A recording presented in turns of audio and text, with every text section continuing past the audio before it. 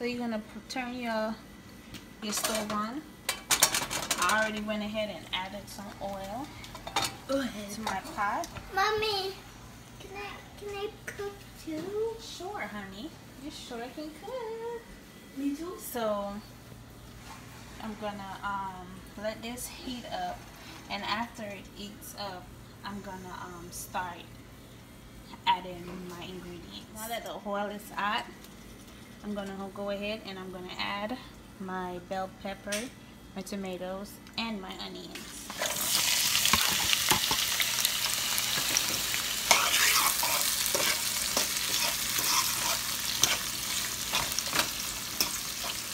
So I'm just gonna let this cook for a little bit.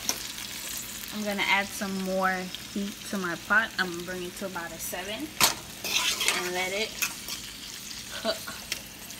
I'm gonna saute I should say. So this is what looks like at this point. I'm gonna go ahead and add my salt fish.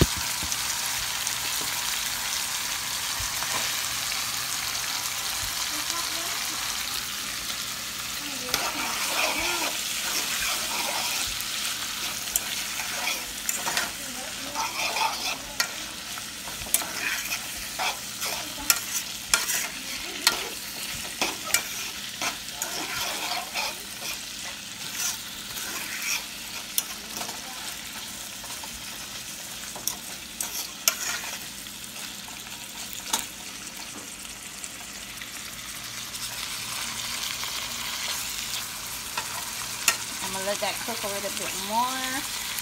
Then I'll be right back. So this is what it looks like after 10 minutes.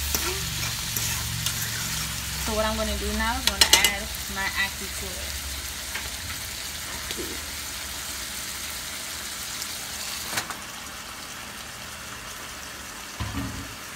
My ackee is from Jamaica, so I got it like frozen and stuff. So I had to boil it and stuff.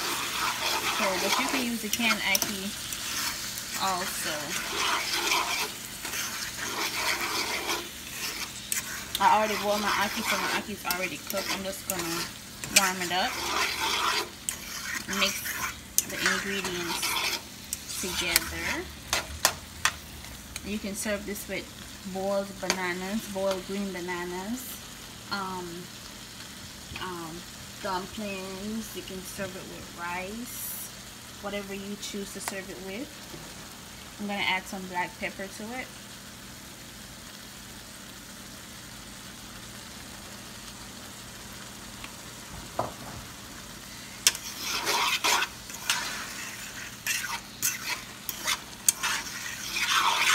I'm going to let this come together. I'm going to cover the pot let it come together for another 10 minutes and then it should be ready to go.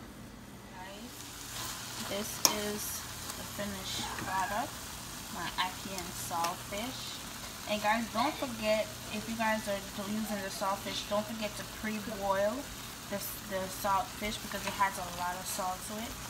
So with so much salt, you boil it probably like one or two times depending on how, how salt you want your food to be and um, that way you don't have to add anything but black pepper to your ackee and it will all come together.